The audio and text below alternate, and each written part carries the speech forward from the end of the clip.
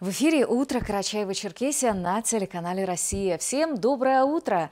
И начинаем новый день декабря с погоды.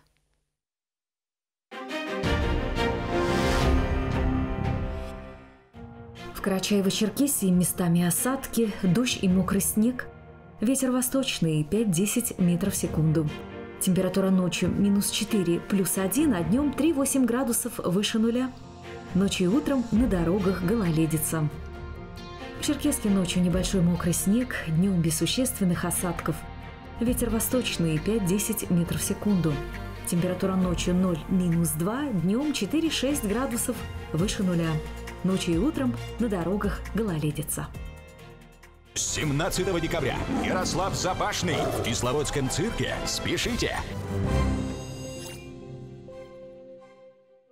Возможности онлайн-торговли. Под таким названием Черкесский прошел семинар для представителей малого и среднего бизнеса, организованный при поддержке правительства республики.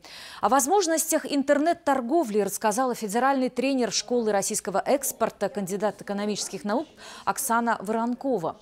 Участники обсудили модели, маркетинг, продажи и способы ведения экспортной торговли. Подробно рассмотрели такие вопросы, как оплата товаров покупателями, существующую государственную государственную поддержку и другие темы. На практическом занятии обсудили особенности модели своего бизнеса и определение его степени подготовки к онлайн-экспорту. Цель семинара – сформировать у субъектов малого и среднего предпринимательства Карачаева-Черкесии базу знаний для успешного и эффективного старта онлайн-продаж за рубеж.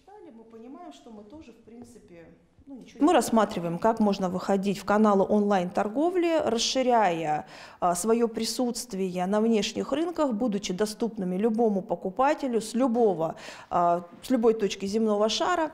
И а, мы рассматриваем вопросы, как выходить на маркетплейсы, какие маркетплейсы, соответственно, использовать, как подключать здесь государственную поддержку, потому что сегодня у нас центры поддержки экспорта могут открывать аккаунты бесплатно для своих предприятий в регионе, регионе, чтобы они заключали экспортные контракты и продавали на экспорт.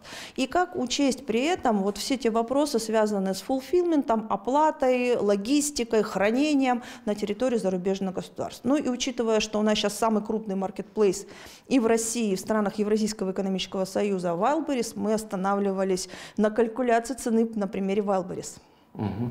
А как вот вы оцениваете вообще вот потенциал бизнеса Карачаева-Черкесии, малого и среднего, так, ну, первое впечатление? А у каждого есть потенциал, тем более, что у вас очень хорошо развита текстильная отрасль. И как раз-таки для текстильщиков онлайн-экспорт – это номер один. Есть возможность привлечь как клиентов физические лица, которые будут покупать вашу продукцию, так и, соответственно, оптовых покупателей, если речь идет о системе B2B продаж. Новый информационный день продолжает свое вещание на телеканале «Россия». Ровно в 9 смотрите «Вести» на абазинском языке, затем также программы абазинской редакции. А в 14.30 «Вести» Карачаева-Черкесия с Аллой Динаевой. Всем удачного дня и встретимся завтра.